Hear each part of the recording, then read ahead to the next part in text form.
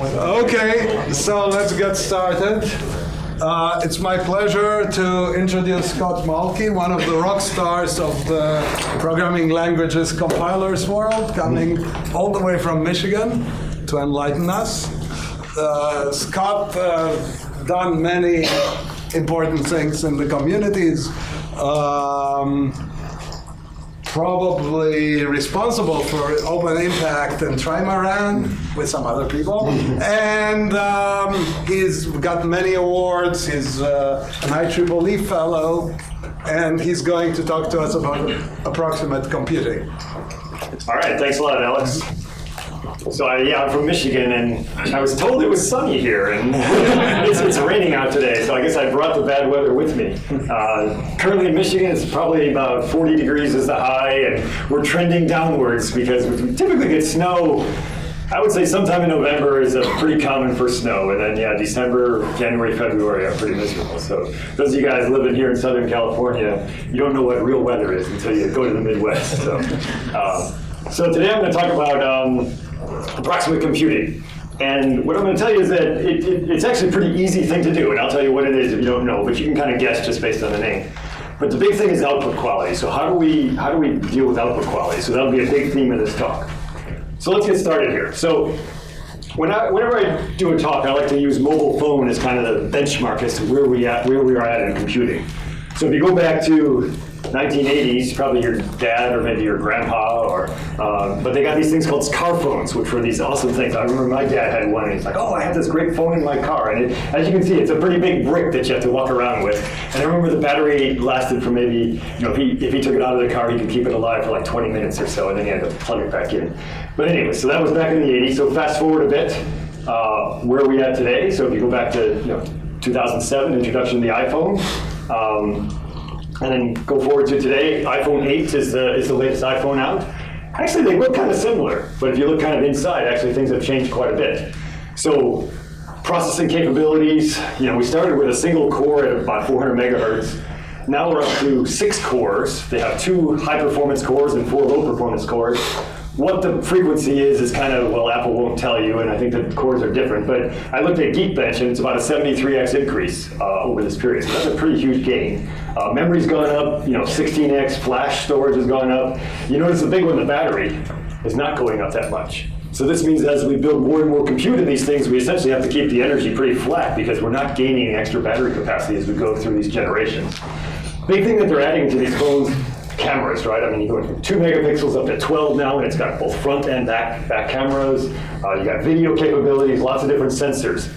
So what I'm going to argue in this talk is that even though you know performance has improved by 73x, is that our ability to collect and generate data, you know, we're losing this battle. As we're building computers, we're losing this battle with people's ability to create data.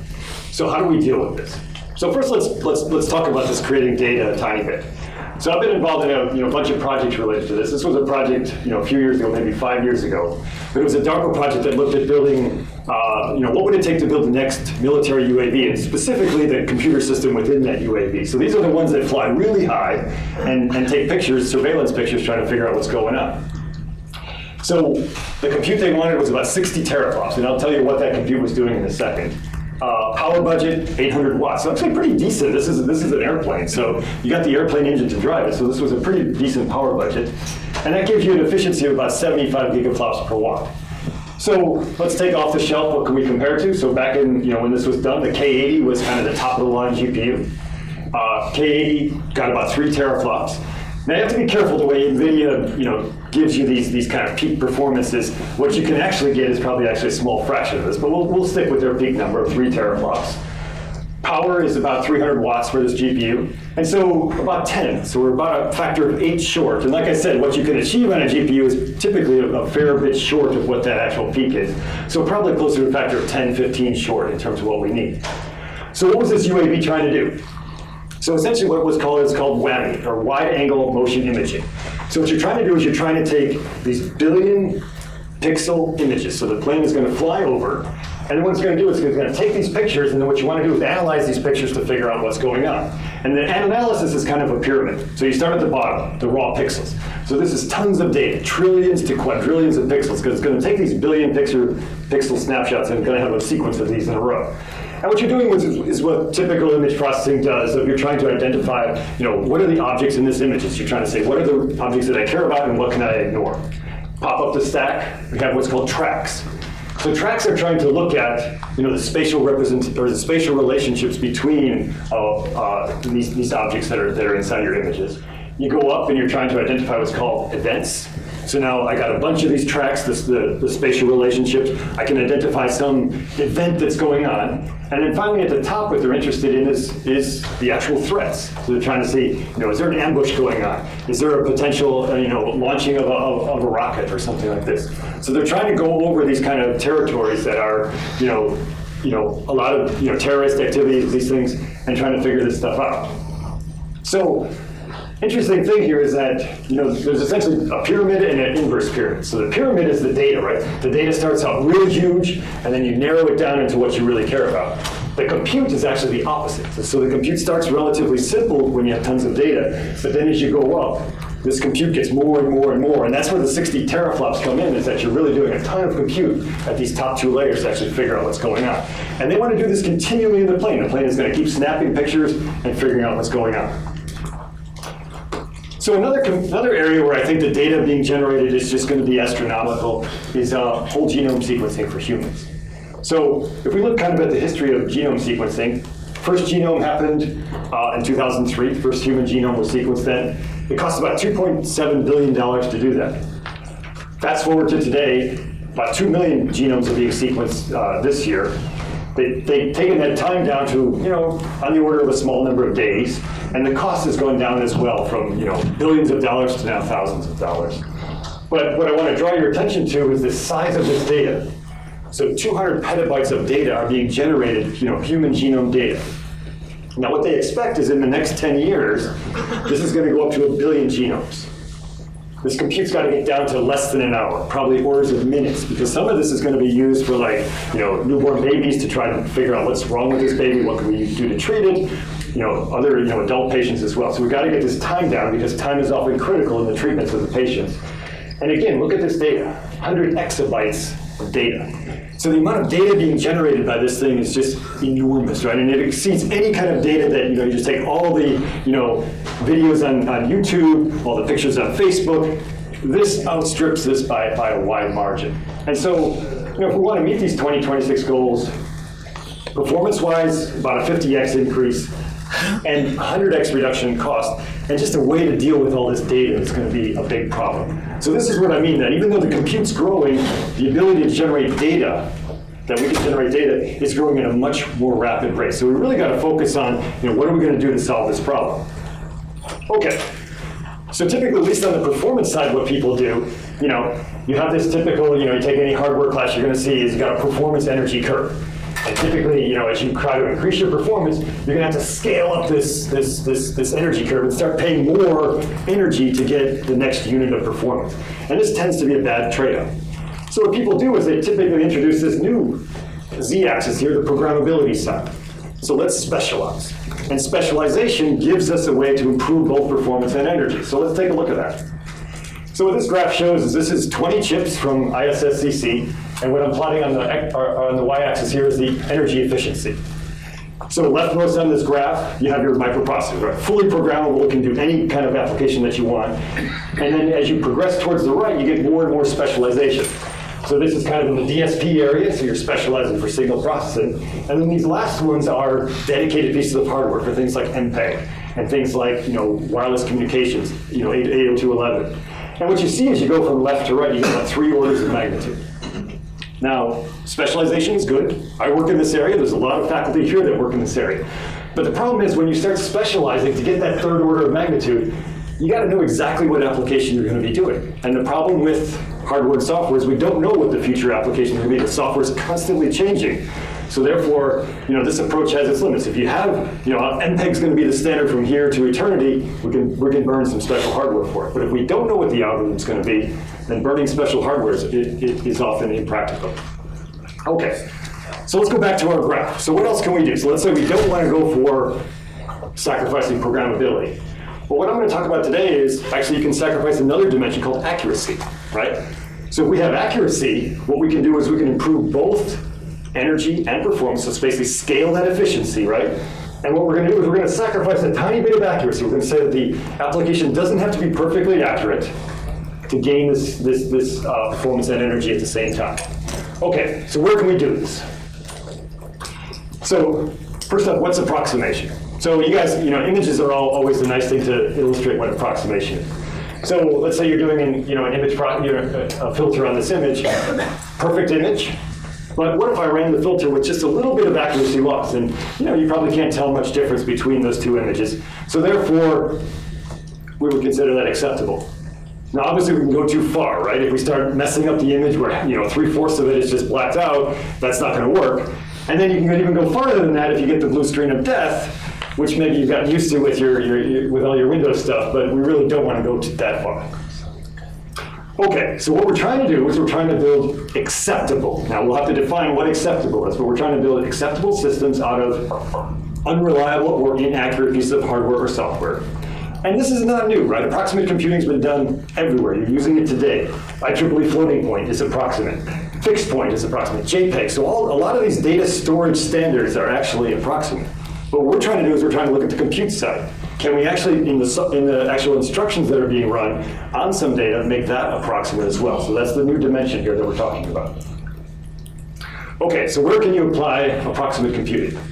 So approximate computing is typically done you know, in any domain where it's a statistical calculation that you're trying to do, the input data is noisy or the output is human interpreted, right? So it's like a video that you're playing, it's, you know, some, you know, machine learning recognition of, you know, is it a cat, is it a dog, that kind of stuff. So there's some level of flexibility that's kind of built into the overall system. So image processing is key, and that's what I'm going to focus on today. But vision, robotics, any kind of multimedia stuff, a lot of the big data analysis where you're trying to figure out what's the meaning of the data, that's actually uh, contained in these domains as well. Okay. So what do we have to do to kind of make approximate computing real? So I, I, think there's two main challenges, right? So the first one is we have to make it run on commodity hardware. So what a lot of people are talking about with approximations, let's build special chips, right? So you know everyone's coming out with their, their, their favorite machine learning chip or uh, you know, Qualcomm, IBM, pretty much everyone has one today. There's stochastic computing chips out there. You know, people are building neural accelerators. So these are very common. But if you look at kind of the domain, you know, we want to go from supercomputers down to cell phones and have this kind of more integrated into the, the, the, computers that you use. And some of these chips will appear in these devices. They're already appearing. But we really want it to actually run on you know, the core compute elements that are inside here. So your CPUs, your GPUs, et cetera.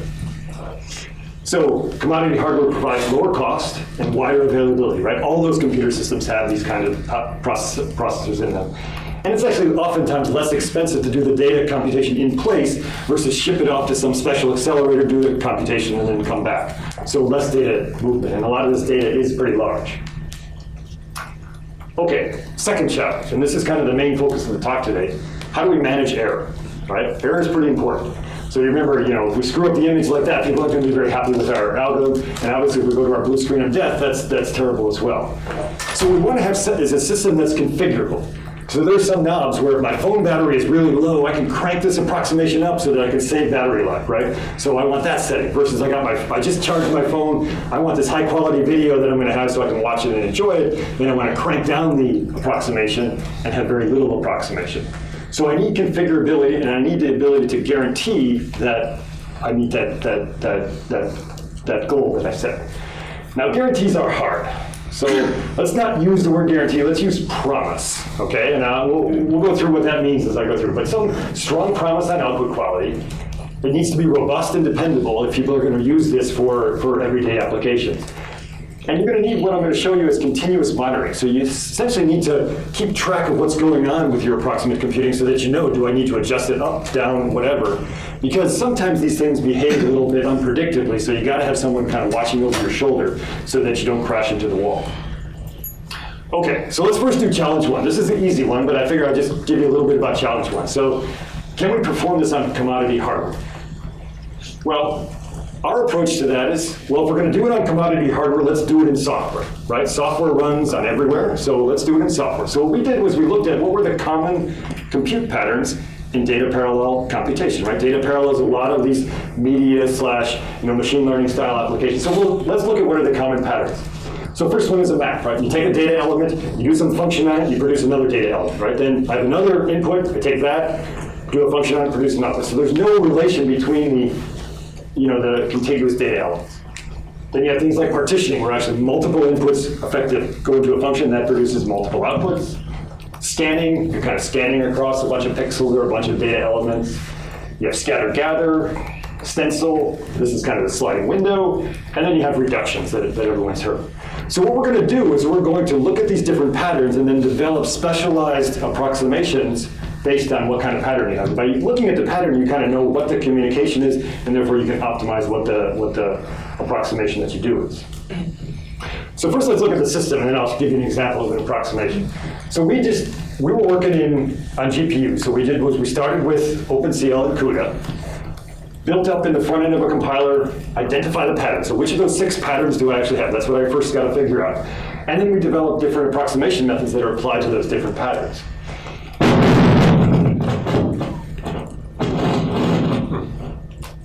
Approximation. Yeah, approximation there. We got a little glitch. I don't know if I hit it. I think the battery's dead. Oh, Was the battery down? Okay, hopefully it'll be all right. Does anybody know what Should lower the this? light means? Okay. There's a yellow light. There's a yellow light on this. There's a battery in I'm gonna try putting it in my.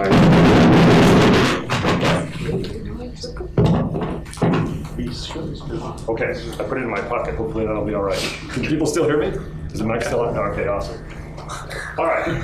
So one of the important things that we want to be able to do when we come out of this, out of this, with these approximation methods, is have tuning parameters. So like I said, when your cell phone battery is low, you can kind of crank up the aggressiveness of the approximation. When your cell phone battery is high, you can crank down the aggressiveness to improve the quality. So basically, produce tunable kernels, and I'll show you what that means in a second. And then you have a runtime that's essentially going to monitor what's going on. This guy wanted 95% quality. I'm only giving him 85%. I better adjust these things a little bit. Or he wanted 90% and I'm giving him 99.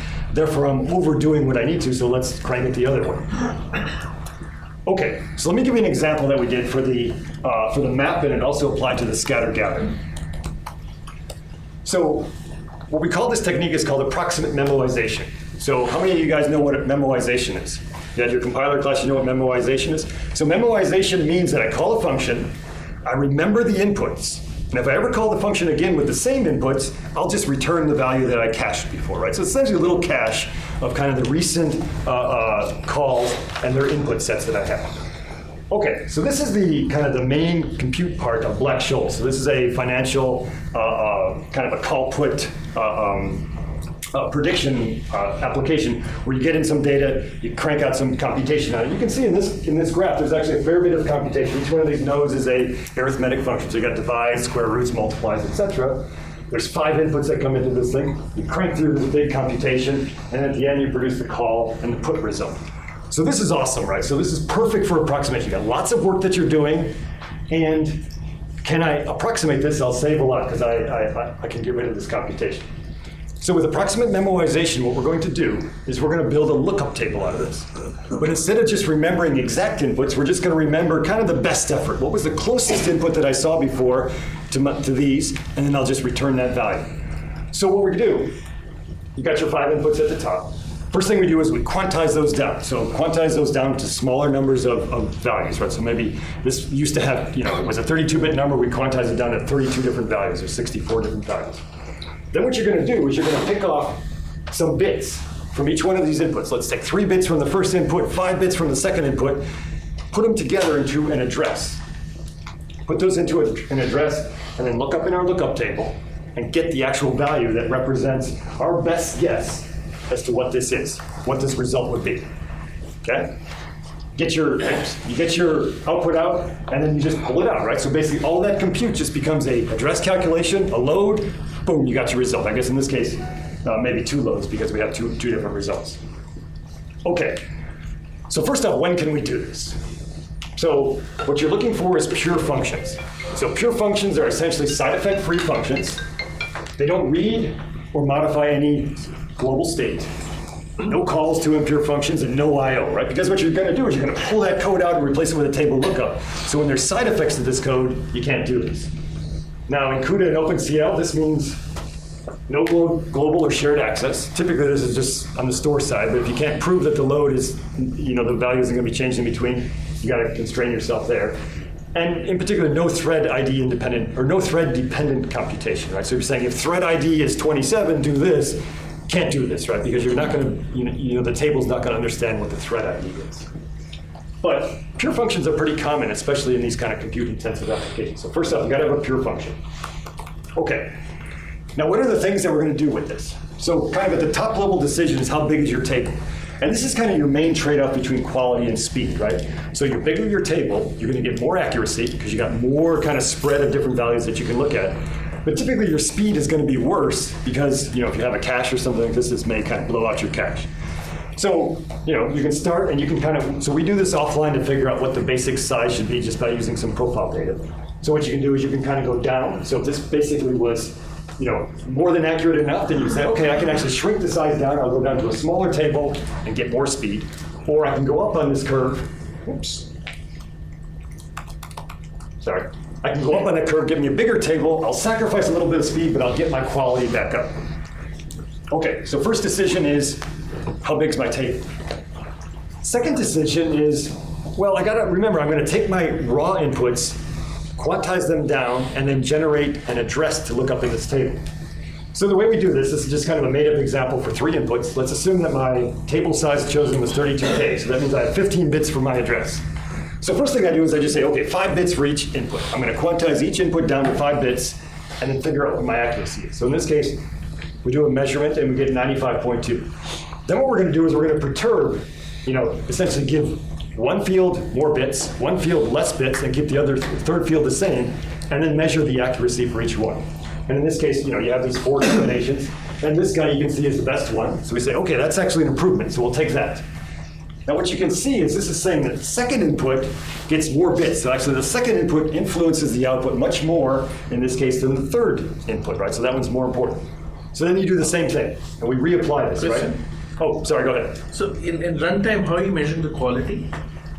Ah, I will talk about that in a second, but basically what you're doing is you're going to do actual, approximate, and comparative. Ah. Right? So it's an expensive procedure. Yeah. But I'm going to tell you the trick on how we how we deal with this. But yes, we're going to have to do it kind of this kind of this this kind of um, Diff sort of a thing. yeah, it's essentially a diff, right? And it's expensive because you have to do both sides of the diff, right? So you don't want to do this very often. But this we typically do, you know, you kind of have a small setup period time where you're doing this, right? So that's why you can do both during a small. If you assume a long enough running application, take a little small start part at the beginning and do this, that's how we're assuming right now. Question. Okay, yes, question. Why not just use a hash over the input data? You could use hash. So I think hash would be fine. A hash, we felt that this was, um, we wanted to have a breakdown of inputs and their importance, right? And I was worried about the hash would kind of treat everything more uniformly, right? But I think what, you, what you're saying is if you kind of go back to, you know, right now we look at, we basically just take bits and then OR them together. It's a, it's a, how much runtime overhead do you want to compute the address? So what you could imagine is once I figure out, oh, three bits from this, two bits from that, six bits from that, then I could hash that to come out with my address, and that would be fine. This is a little simpler. You're just kind of pulling bits and shifting them over. So it's a, it's a trade-off between, you know, how fancy you want this to be versus how much accuracy are you getting? Yeah, question. So can you do this rather than uh, building the lookup table and computing the difference on the output? Yep. Can you essentially see it from the lookup table itself in that I see a bunch of entries that are neighbors, they don't have much of a difference, so maybe I can pull a bit from there. Yeah, that's a good point. So you're essentially trying to do an online kind of interpretation, right? You're trying to say, okay, I'm, I'm here, but let's look at the other values and then try to ex- in- in- interpolate the, the. Yes, I think that would be a, a pretty good improvement. We didn't look at that. We looked at just kind of like, I'm going to pull out the single nearest value. But you're right, you could basically go back, You know, and again, instead of I got an address, pull out a value, right? I could pull out the one before me, the one after me, take those three values, and then combine them in some way. And again, I would say, you know, you can make this more complicated, you can make this part more complicated, and I think these are pretty interesting avenues of future research that we didn't look into quite yet. But essentially, yeah, you can drive up the accuracy pretty well with a small change here. I think that's that's that's good. You got to be super careful here, though, because right, this is an example where you have a very big graph. A lot of times you end up, you know, let's say I only had this part of the graph. There's always these, you know, how much speed am I getting versus because the speed I'm getting is going to be the difference between what I save here and what I cost here, right? So it's pretty sensitive to, you know, how much stuff do you put on this side, and that's why we chose to be simple.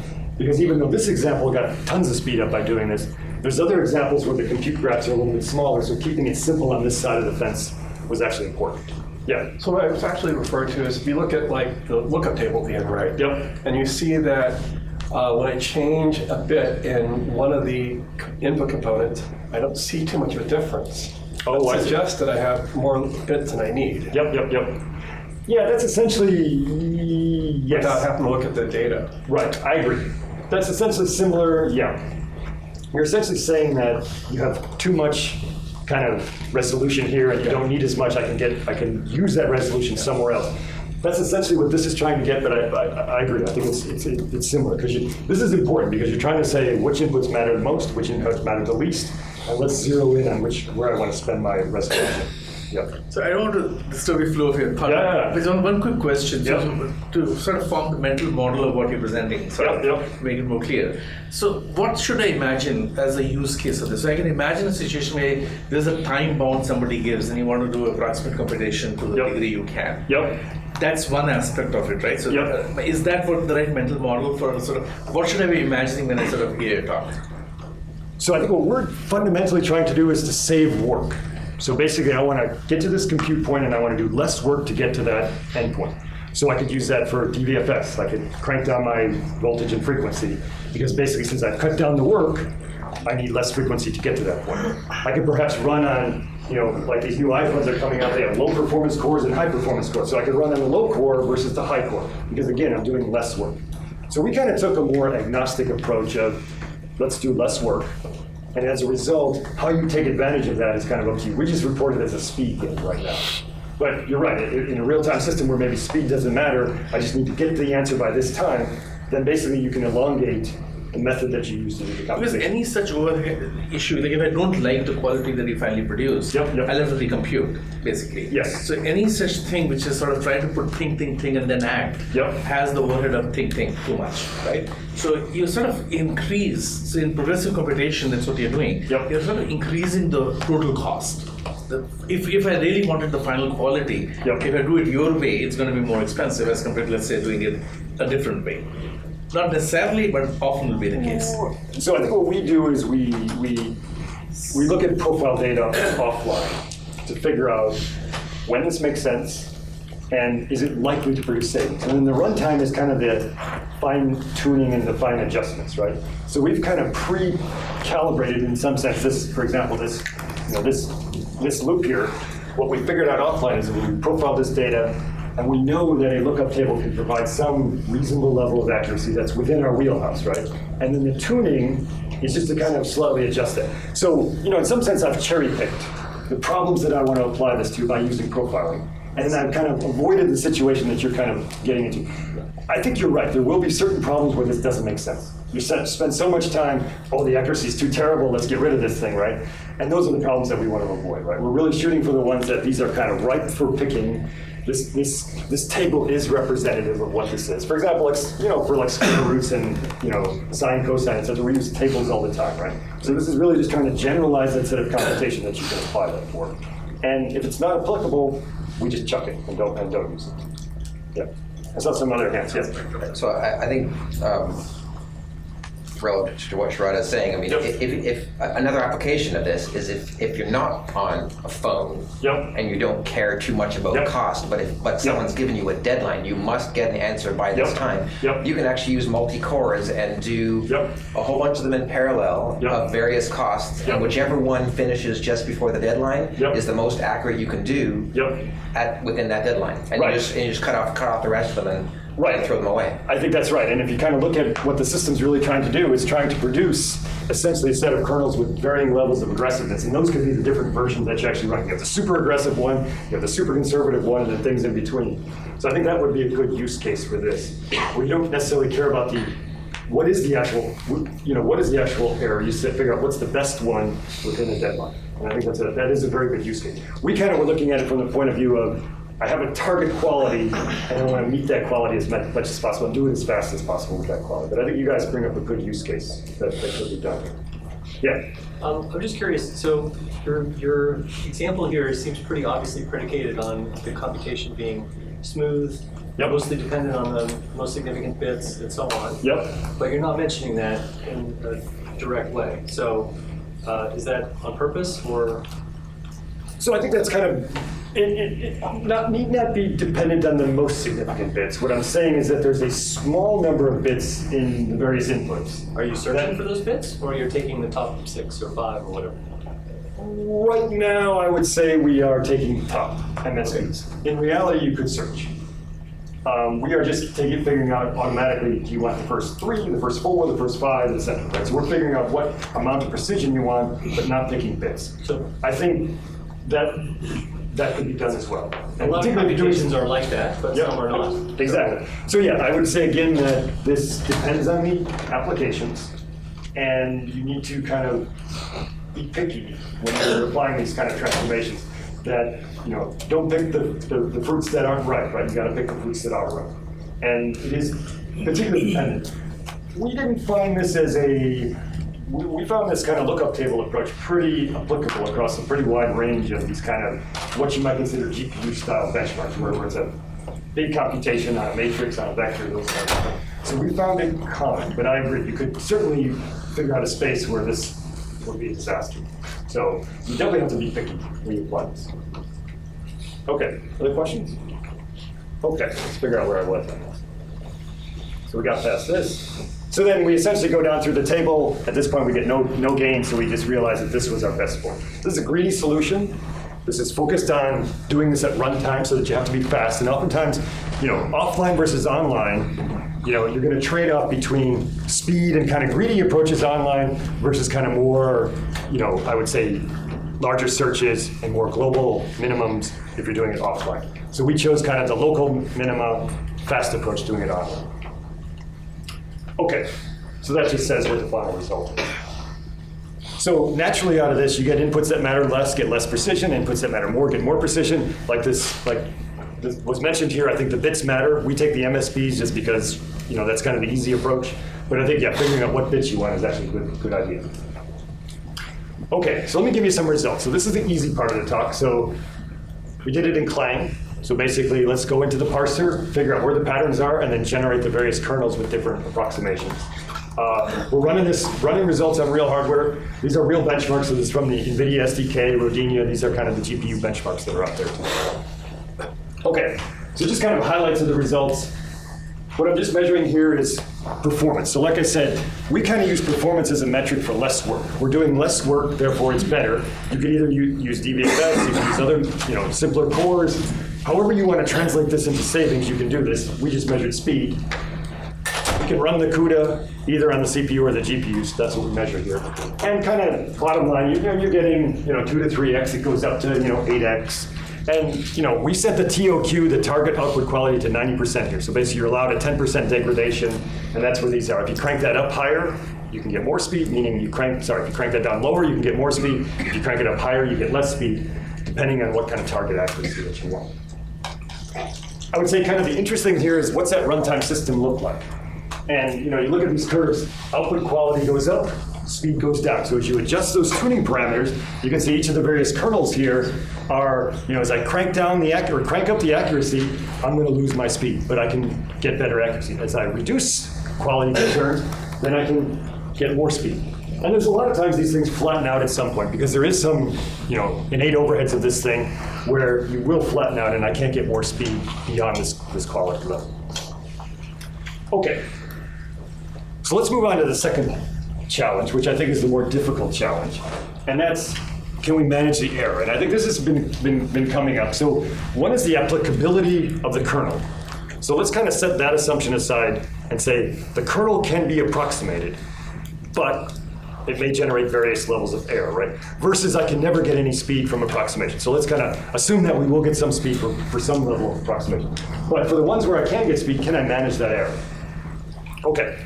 So if we look at, you know, what does the error look like for most of these kernels? What you end up with is a curve like this, where there's a large percentage of small errors. But then there's a small amount of actually very big errors. So remember, you're targeting some average quality, right? And when you target an average quality, you get a, you get a lot of, you know, it's, it's essentially a bell curve, right? So you get a lot that are small, but then out towards the fringes, right, you're going to get some ones with big errors. So what we really care about is those big error elements, right? So if you look at our no error picture, you know, 10% of the pixels have 100% error. This, this image is pretty, pretty bad, right? Versus if all the pixels have 10% error, then it's actually, you probably can't tell the difference between the first and the last. Maybe I used the same picture, but no, I didn't. I actually changed it. But the point is, is these high error elements are what really matter because those really distort the image that I'm looking at. So besides the actual amount of error, another thing that we actually figured out is actually very input dependent. So my student was looking at, he found 800 flower images on the, on, on the web, and we applied a you know, filter to the flower, approximated version of the, of the filter to the flower image. And you got this kind of distribution. So this is just the image number, and this is the error, right? So the mean is this, right around 5% error. But you see there's a lot of images that actually were much higher than that. In fact, some of them as high as 23%. And this picture was actually a whole bunch of flowers, so it was a pretty complicated one. Whereas you get others that are really awesome, right? This was just a single flower. In fact, the flower was the entire image. So you get varying levels of complexity, which essentially means the, the same approximation is going to be behave differently when applied to that top image versus the one on the left. So I got to be cognizant of different inputs are going to produce different amounts of error. Okay, so how do people do this? So what people do today is across the x-axis here is time. So over time, what I'm going to do is at those dotted lines, I'm going to check the quality. And as we talked before, checking the quality is going to be run the correct one, meaning run the original, run the approximate one, and do a diff, right? And see what the what the difference is. This is super expensive, right? Because you're not only doing double work, you're also doing the diff.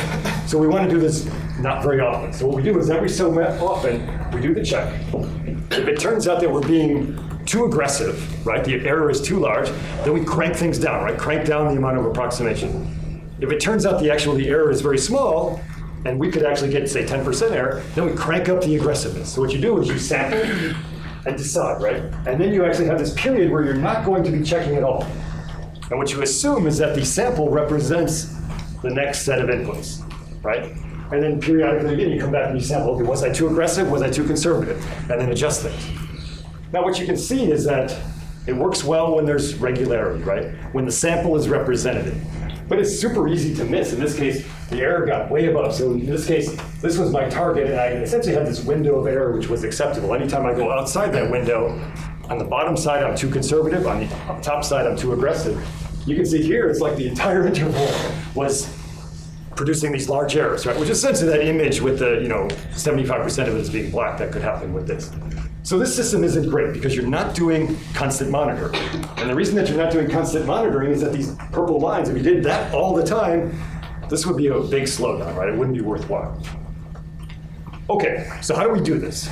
So we took inspiration from the, the Roomba vacuum cleaner, and so what we're going to do is we're going to vacuum up some of these, these, these messes. So this part deals with a, a it, it, assumes that the approximation is run an accelerator, but you can assume this is just the CPU as well running the approximated code. The CPU on the left is the CPU running the actual unmodified code. And so what we're going to do is assume that the CPU is going to send over the inputs to the approximate version of the code. That approximate accelerator is going to compute what it thinks is the right output and send those results back. What we did was we built a detector, and I'll go into what this is. But what you can imagine here is that it's going to detect, and what we're looking for is those large errors. When, am, when, am, when does the kind of situation come up where I got really bad errors, where I can't trust what the approximate accelerator did? And when that happens, what I'm going to do is I'm essentially going to send it back to the CPU and say, hey, you recompute on this data using the accurate you know, unmodified algorithm because I can't trust what the approximate accelerator is going to do. So what you can imagine is that if you have a bunch of glitches in this picture, the Roomba comes in and identifies those glitches and just vacuums them up by rerunning those little segments on the CPU. Okay.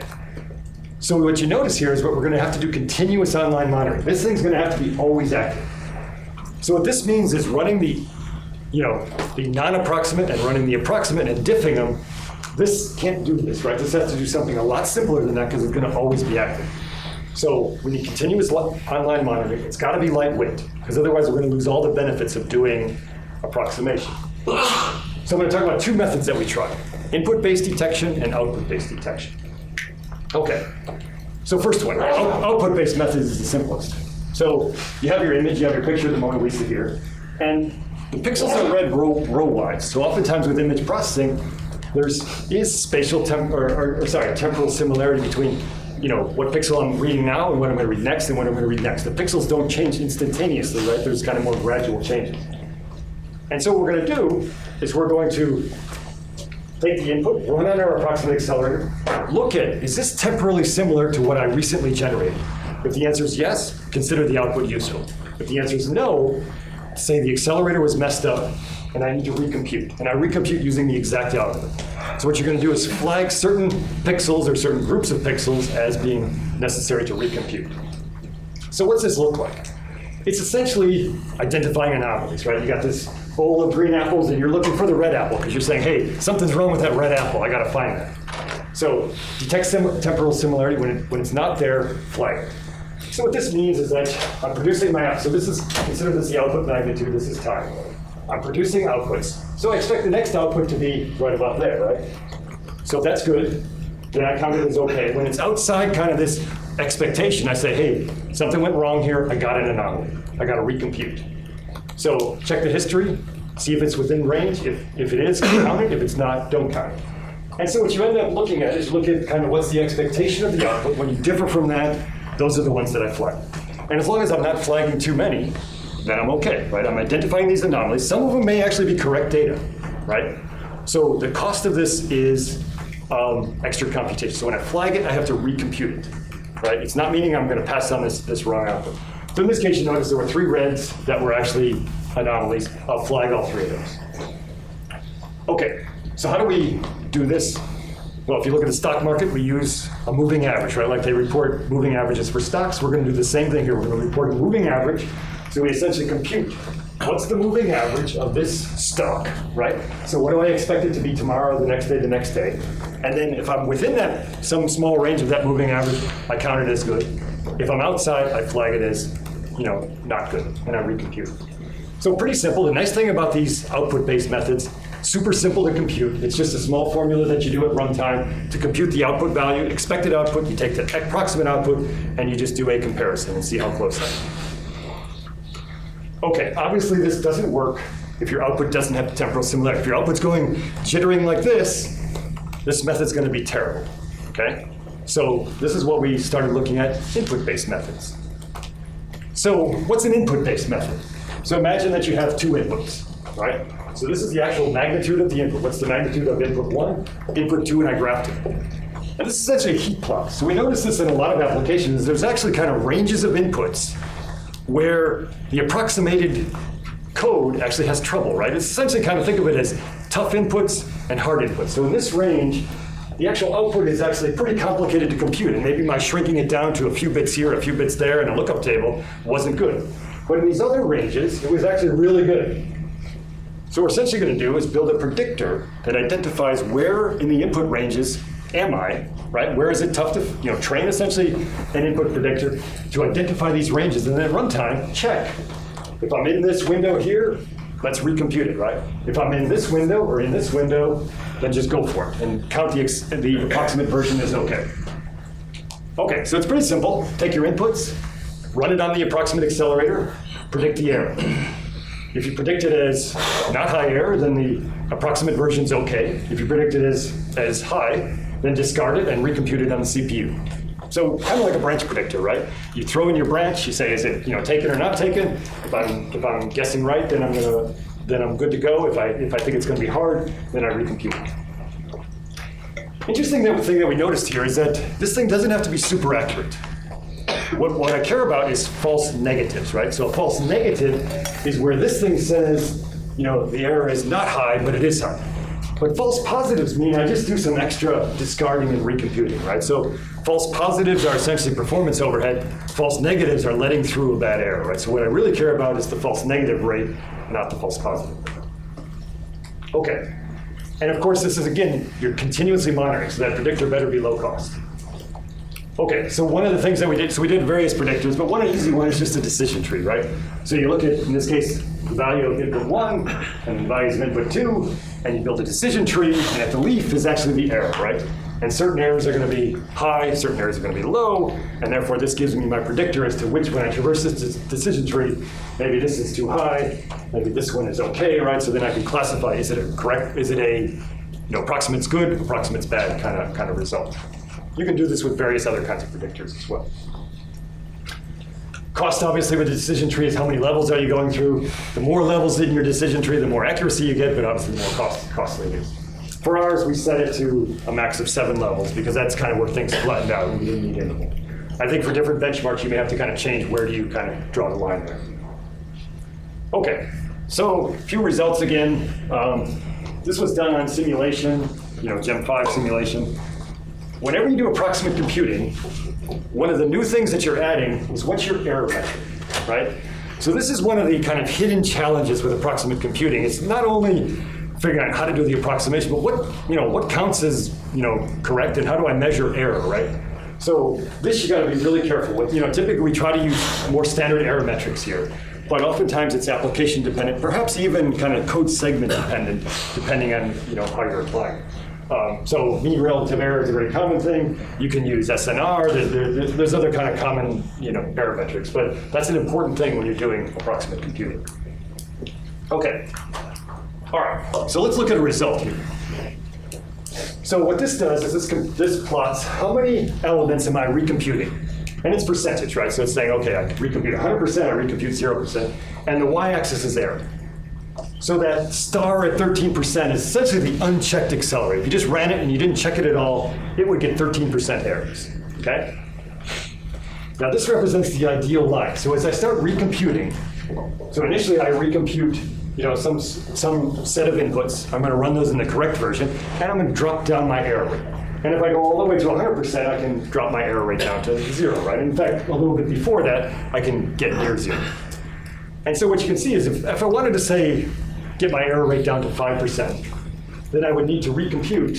So in this case, getting my error down to 5%, I would need to recompute probably 10% in the ideal case of the inputs, right? Because 10% of those are bigger than 5%, so let's recompute those and drive that error down. All right. So then what the other bars represent, so obviously getting better, closer to the origin is better. So these other lines represent the real mechanism. So the first one is uniform. It just says every second input I recompute it, every third input, or two out of every three inputs I recompute. So this is really stupid, okay? And what it shows is that, yes, you can drive down your error rate, but to get down to that 5%, oops, to get down to that 5% level, it's gonna be pretty darn costly, right? You're gonna have to recompute a lot of stuff, and a lot of it unnecessarily, right? Because these aren't smart. Okay. EMA, this is the output-based methods, right? So this is where you look for temporal similarity, and you say, was this temporally similar? And if so, if it wasn't similar, recompute it. If it was, don't recompute it. And you can notice this wasn't too great, right? At the beginning, it was actually no better than just kind of arbitrary randomness, right? And then it didn't drop down. But there's still quite a gap between the orange line and the dotted green line. So this output-based method wasn't good for this benchmark inverse K to J. The other two lines are the input-based methods.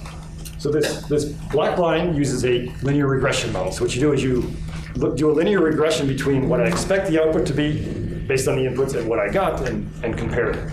So this actually tracked pretty well, right? It actually got reasonably close to that uh, uh, ideal line. So I'm recomputing less to drive that error rate down. And the last one was the decision tree. So this was kind of interesting. At the beginning, it actually did very well. So at the beginning of the process, the decision tree was better than the regression model. As we started wanting to get our error lower and lower, then the regression model actually outperformed uh, the decision tree. I hope the microphone isn't going to do anything. So what does this really mean? So if I wanted to get my error rate down to 5%, right? What I'm doing here is if I do kind of the two out of every three, inputs, recompute. You know, I got to recompute 62% of my inputs. But with this smarter input-based method, I can drive that down to 15%.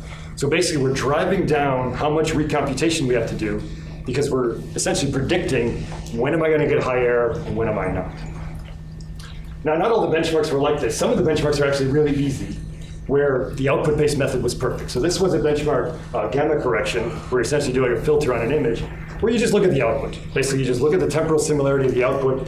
And in this case, the EMA method was pretty low. There- You could get a little bit of gain with the output-based method, but the, or sorry, with the input-based method, but the output was pretty good. And the output-based methods are super cheap. So whenever you can use the output-based methods, do it.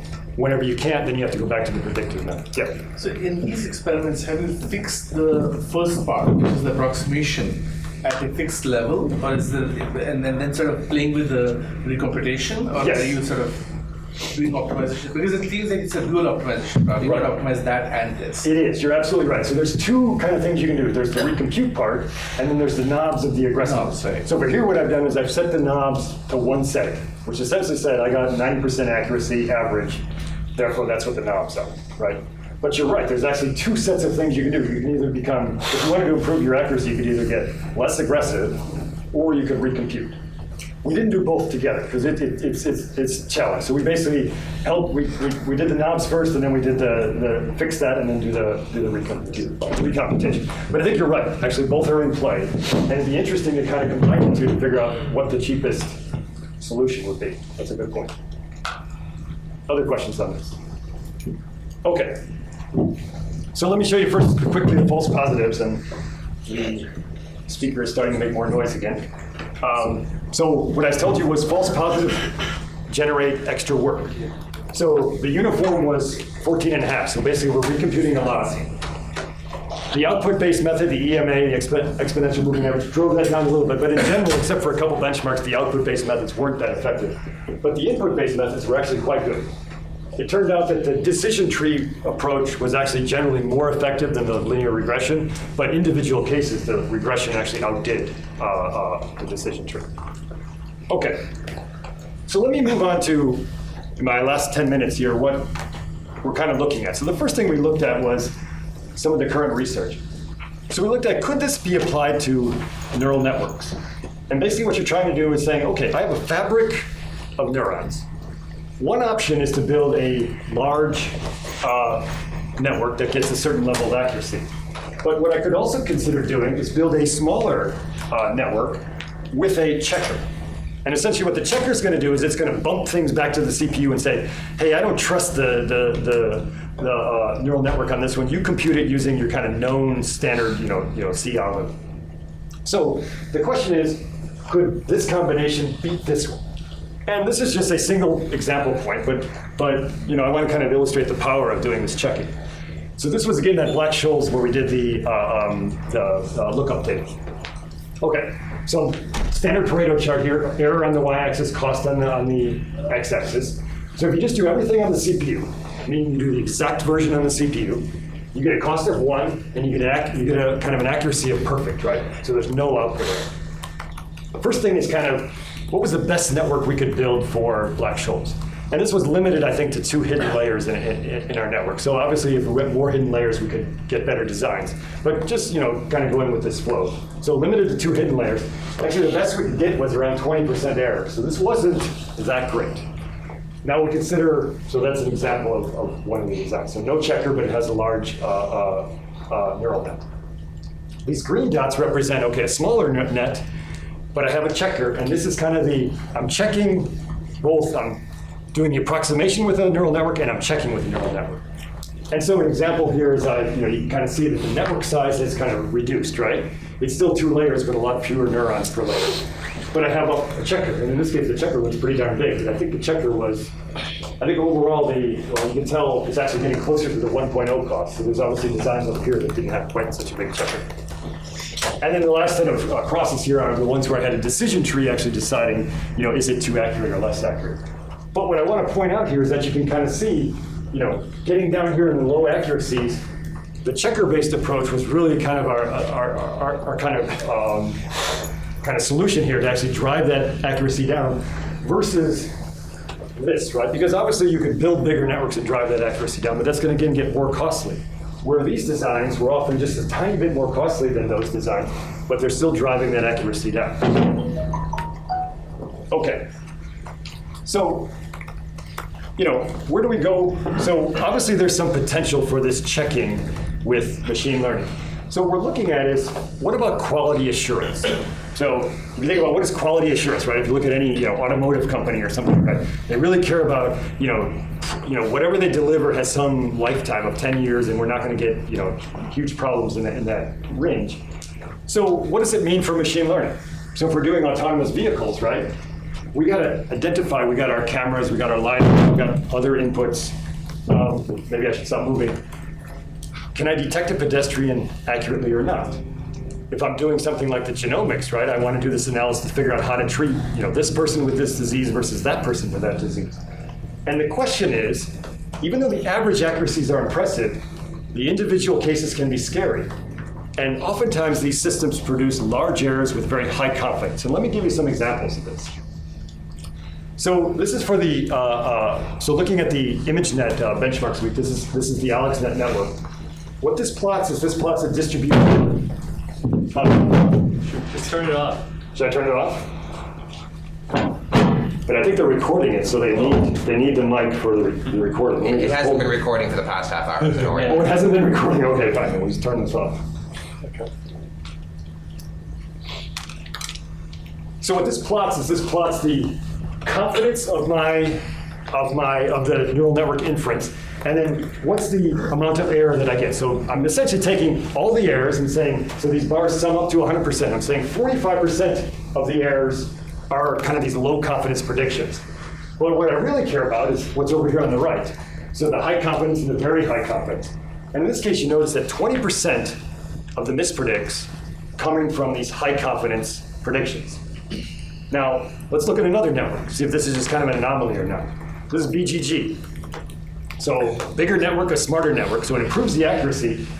But again, what you notice is that these two are pretty high. In this case, it's actually more than 25% of the predictions are coming in with high confidence.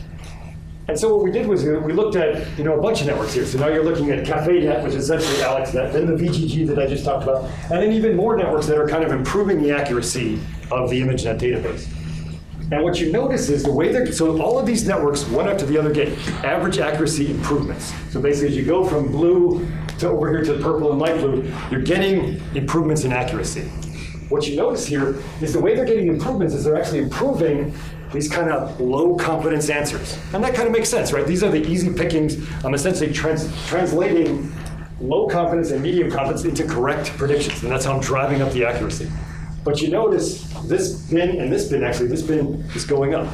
So as we're building smarter networks, we're actually putting more high confident incorrect answers into these bins, right? Which causes us more problems, right? Because now the accurate, the, you know, the, the network says no pedestrian, but there's a pretty good chance that it's confident in that answer, but there is a pedestrian there, right? So how do we deal with these kinds of these kinds of errors? Okay. So first off, you got to kind of understand the scenarios, right? So scenarios of where this comes up. So obviously this is kind of a common case where you have a single picture that has two things in it. In this case, there's a mountain part, and then there's this kind of you know lake part, and one of those is labeled as the actual part of this image that I care about. So this one's not too bad. So multiple objects in a frame, maybe I can separate that out and actually have two classifications for this. Another one is kind of the obstructions, right? This is a big one for autonomous vehicles, is that the thing that I care about is obstructed by something. In this case, you know, the, the alligator is, is, is, uh, obstructed by the plants. But if you imagine like an autonomous vehicle, maybe there's a snowbank. Obviously, you guys don't get those here in Southern California, but we do in Michigan. There's a big snowbank blocking where the pedestrian walks. So obstructions are a pretty big deal. Other thing is similarity. So maybe you have a very detailed one, it's a hawk versus an eagle. We saw a lot of, you know, a bird versus an airplane. It couldn't tell the difference between a bird and an airplane. So you get two images that are kind of in the same ballpark, but maybe this one again is not too bad in terms of a, a, a you know, a, at least a pedestrian, because if I call both of those pedestrians, I'm kind of good to go.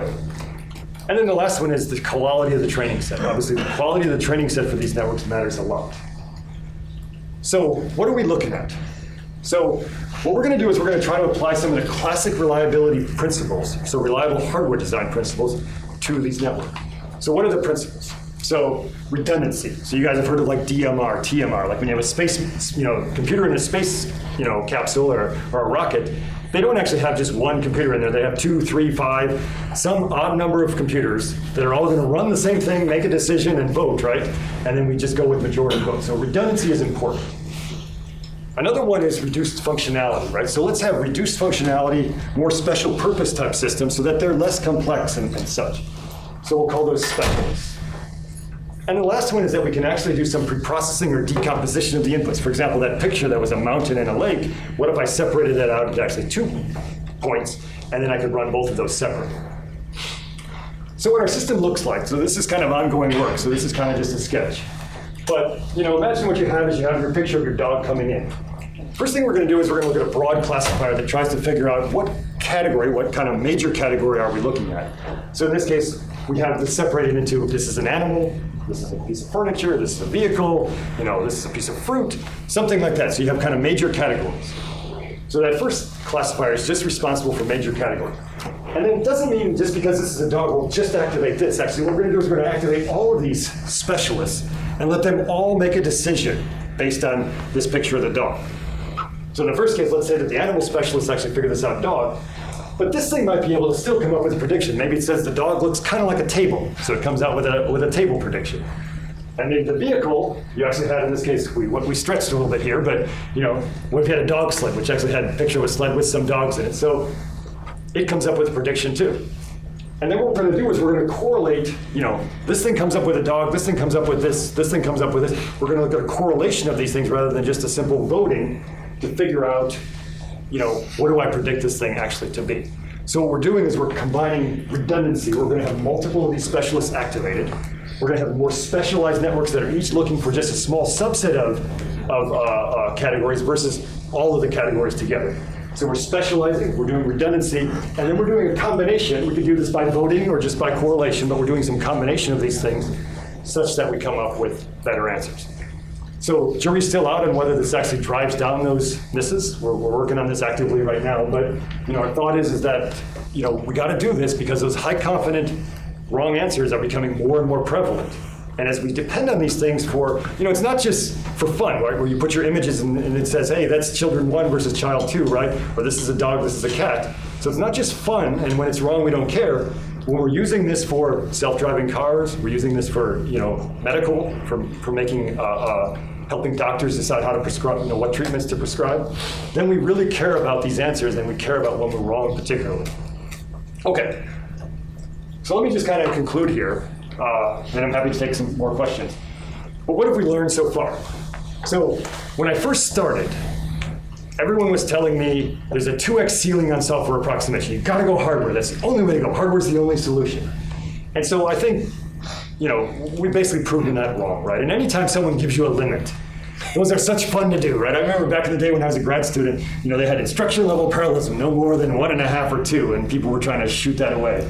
And you know, the same thing here. When everyone says this is a limit, I don't know why anyone says this, but maybe to be controversial. But whenever they say it's a limit, you, you try to you, you, you try to blow that away. And I think the, that doesn't mean hardware is not necessary. In fact, I think these two can be synergistic to work together. Second thing is this output quality. It's got to be the key to wide adoption. I mean, it's got to be invisible to the user to generate guaranteed results, or at least as close to guarantee as even your computer is not guaranteed, right? It's 0.99999 likely to work and 0.00001 likely to get you a blue screen, but it's good enough that you're willing to accept it. It's not applicable to all domains, right? We got to focus on the statistical, the situations where the data is noisy naturally. That's where approximation makes the most sense. When you're checking your bank balance or when you're doing a stock trade or something like that, then this makes absolutely no sense. And then the last one where I think this can really help with these exabytes of data generated with genomics, right? And when we have UAVs that just generate billions and billions of pixels, big data has lots of opportunity for approximation. What you're doing is you're exploiting the symmetry, the patterns, and the similarity in the data, right? There's a lot of natural redundancy in that data, and that's how the approximation works, right? It tries to pull out that those symmetries, right? And just focus on the, the, the, relevant data. So I think that's why approximation makes sense in these kind of domains to generate you more speed, more energy efficiency, or, or just doing less work. And with that, let me conclude. Um, so, you know, the students do all the work. I just stand up here and take all the credit. Uh, there's been a lot of students working on, it, on, on this project over the years, and you know, they deserve the real work. Uh, I've been also been working with Jason Mars, Trevor Mudge, and Lingjia Tang at University of Michigan on this stuff. And my group is called CCCP. I guess with all the Russian scandal, this is probably not a good name, but when we defined it, we thought it was really cool. So there's actually no Russians in the group. I'm not Russian. Um, but if you want to check out kind of what we're looking at, uh, go to cccp.eecs.umich.edu. Thanks a lot.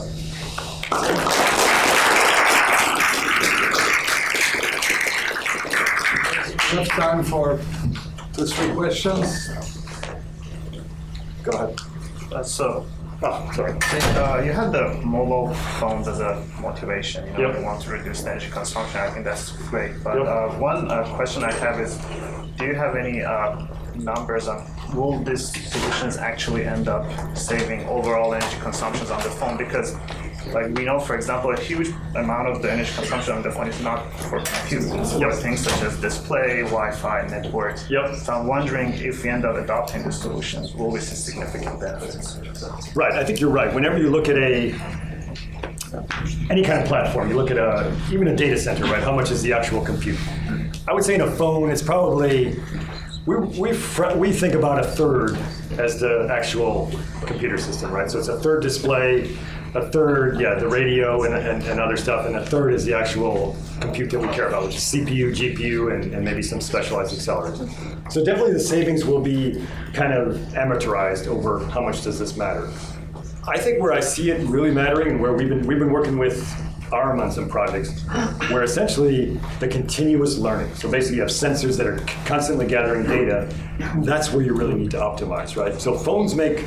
You know, the reason that your phone lasts for a day is that most of the time it's in the standby mode and not doing anything, right? That's how we get the battery to last an entire day.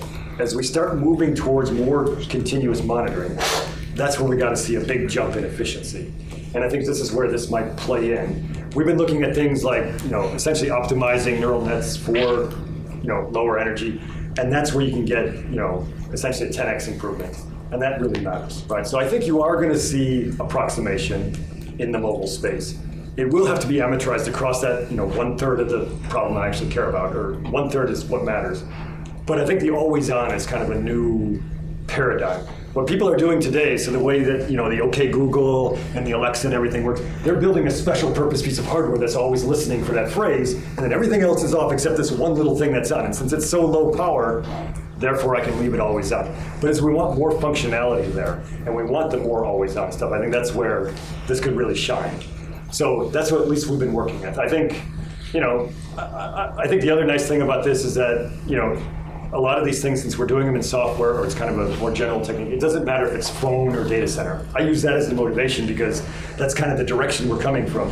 But a lot of times, the things that we optimize in the phone actually will matter in the desktop, the laptop, and the, and the data center as well. Yeah. Okay, question over there.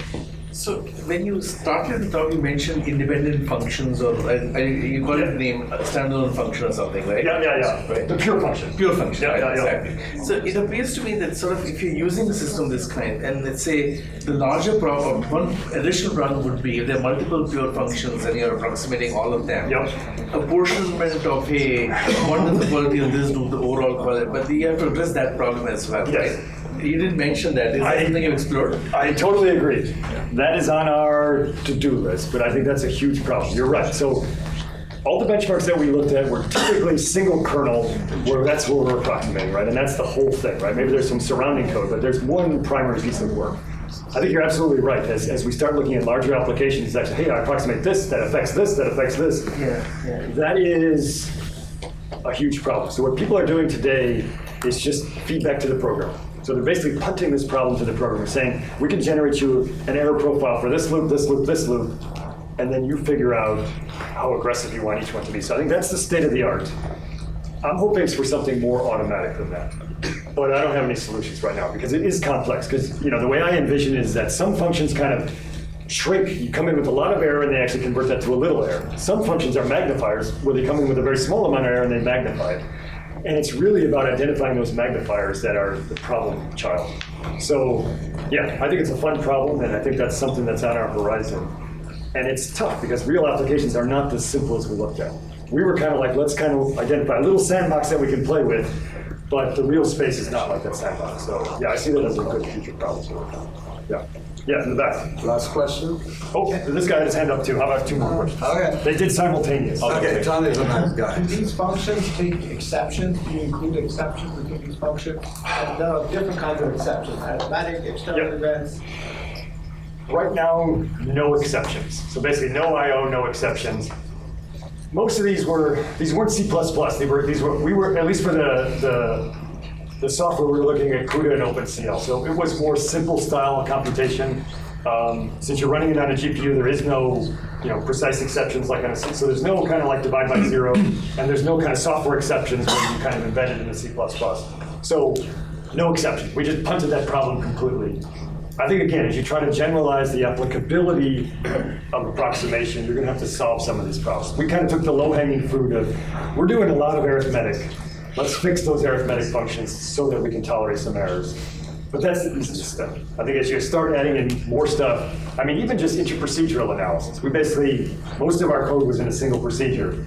You're going to have to look interprocedurally. You're going to have to handle exceptions. You're going to have to handle libraries. We punted all that stuff, and you know, it's again, you know, you- you- you're trying to figure out, can I get any solution to work even for the easiest case, and then generalize from there. So that's kind of the approach we took. Yep. Uh, on the purity of functions, I think you can just pass the state as an input to the function, That's true. and therefore yeah, eliminate that requirement.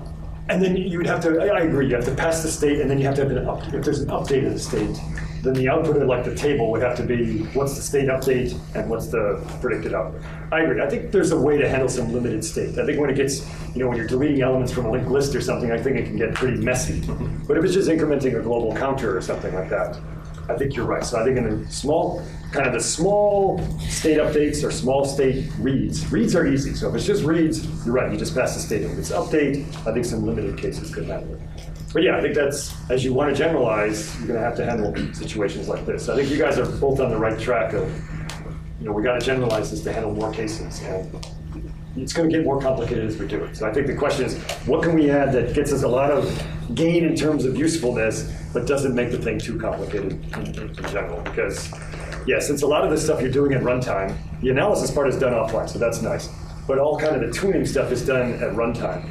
And so the more complexity that gets, the, you know, the more time over it it's going to have. Okay. Okay, Thanks thanks again.